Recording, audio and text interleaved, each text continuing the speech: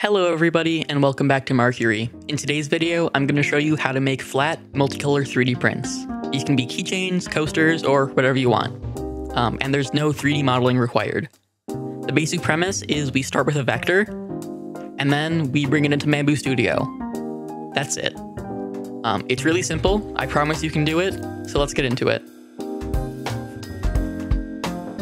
The first thing we're going to do is actually locate an image. If you need an image, uh, I like to use Ideogram because you can make really nice and neat little things like this.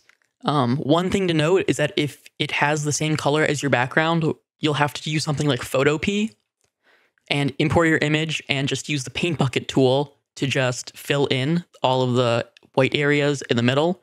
Use a bright color like red and it should work fine and then you'll bring it over into one of these image to vector tools. I used to recommend this one called vectorizer.ai, but it's recently gone paid. Um, but another really good one to use is this onlineconvert.com. There's also this free one from Adobe that claims to be free forever. All you have to do is upload your photo and you just need an Adobe account.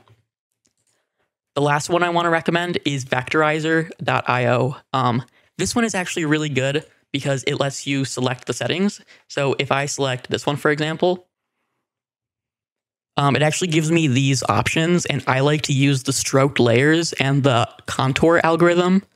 And that gives me really good results. You can also change the number of colors. So I really just want two colors. And there we go. That is like a really good uh, result from an online generator.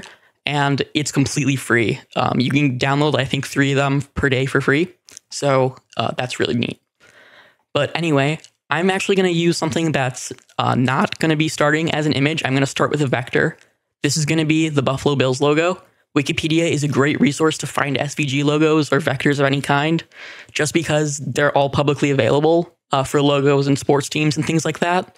All you have to do is click on the original file, right click, and save as. It'll save as an SVG file and then we're ready to hop into Bambu Studio. Now that we're in Bambu Studio, the first thing we're to do is change our wall generator from Classic to Arachne. This just makes it work a lot better for printing. And then we can finally import our actual SVG file. In this case, I'm doing the Buffalo Bills logo, and all of the colors are already separated. The first thing that we'll do now that it's imported is I'll scale it. I only want it to be about half a millimeter thick so I can show you all the different ways you can use it but I would probably recommend two millimeters thick for everyday objects. I'll do 0.5 and making sure uniform scale is unchecked. Then I can go into the objects panel. I'll click on each of these parts and I can assign them different filament colors.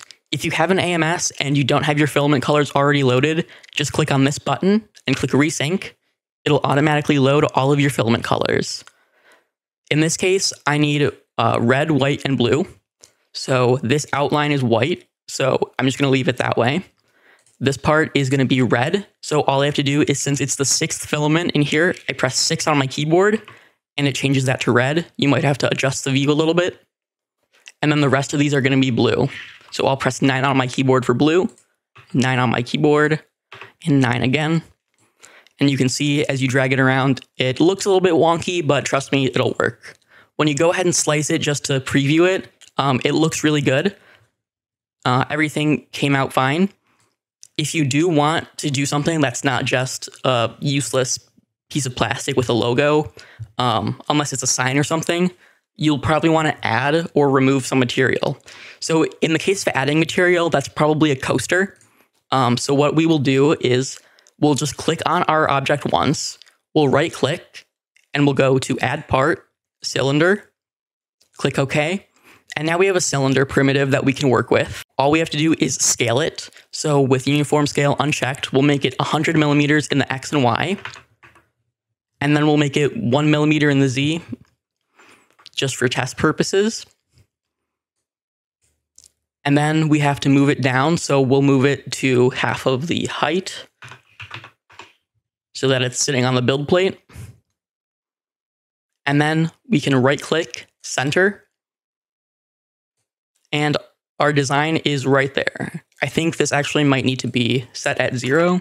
Yeah. So this needs to be set at zero and it's inside the build plate a little bit, but that's okay. Next thing that we need to do is we need to move this cylinder up to the top of this parts tab because right now we can't see it at all. If we go ahead and slice the plate, our Bills logo is completely gone. So we will go back in here. I'm just going to drag generic cylinder up to the top of part one. And now if we reslice, we can see on the bottom, there is our Bills logo. Now I did make a little mistake. Uh, I need to make this flipped so that it's facing the right way on the coaster. So I'll hold shift and select all these. I'll rotate and I'm just going to rotate it in the Y 180 degrees. And that should fix it. So now it's face down on the build plate, but everything should be okay. Um, I don't think that actually worked. You want to do that before you add the generic cylinder and do all of its manipulations because you cannot actually uh, do the individual ones once it's all grouped together. I'm going to undo that and just get rid of the cylinder for now because I don't actually want a coaster. Let's say I want a keychain. I'm going to make this a little bit thicker. Again, uncheck uniform scale and I'll make it two millimeters thick. But what I want to do is I want to remove a little bit of material so I have a hole to stick a keychain loop through. I'm going to click on our object again, right click, go to add negative part, cylinder, click OK. And here is our negative part. This just means wherever this cylinder is, the printer will not print. It doesn't matter what color, what filament, what model is there, it will not print there. So we will go to the scale tool. I'm just going to make it a three millimeter hole. So three by three. And then the Z dimension doesn't actually matter. I'm just going to do five. We'll drag it down to be on the build plate. And then we can just move it to wherever we want on the actual model. I want it to be at this very end so it'll hang off the keychain nicely. We'll slice the plate and there we go. It didn't print in that area because we added that modifier. So that's how you can do keychains and coasters or of course signs. If you want to do a coaster where the design is all the way going all the way through, you do the exact same thing as before, but you just make it so that this uh, design is going to be the same Z scale as the cylinder itself. Now, this is great and all, but let's say I didn't have that vector and I was using one of the online image converting websites. If I go back into here and I select uh, this one, I use the stroked layers, but when I import it into Bambu Studio, if I get rid of this, and then I import this,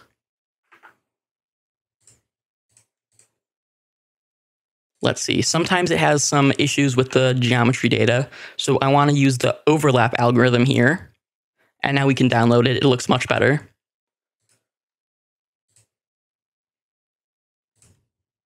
It's going to take a little bit longer to load, but you'll notice that it actually has the background included. You could remove the background with something like remove.bg online, this website, where you drag a you drag your image in,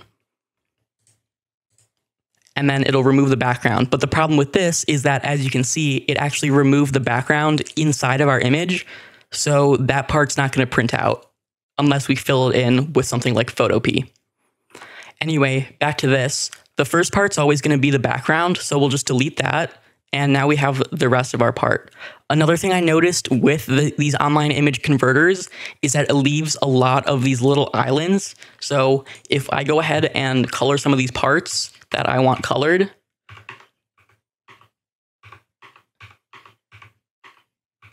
There we go. I have all of the parts that I want colored colored, but the thing is, I have a bunch of these other like random parts. Actually, in this case, it didn't do it, but you, sometimes you'll get a bunch of random parts that literally come out of nowhere. They're super tiny, but I find that if you delete them, it will leave holes in your print. So what you have to do is just color them the same color as the rest of the base. So I would just go through and assuming these ones were something so little that I can't see it, but it's still in the print, um, I would just go through and color those all. Um, but for this case, it actually worked out pretty well. Anyway, I hope that helped you guys out. Uh, this is just a really quick video on how I personally make most of my uh, 2, 2D, uh, 3D prints that are multicolor because it's just so easy. But yeah, I hope you guys like, share, and subscribe. Um, it really helps the channel out. I recently just got monetized, so hopefully I'll be creating a lot more content for you guys. But with that, that's all I have for you today. Have a great day and happy printing.